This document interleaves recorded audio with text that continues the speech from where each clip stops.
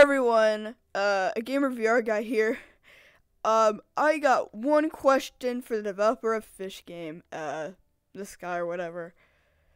Fix your freaking game! Like literally, I can't like, I can't think.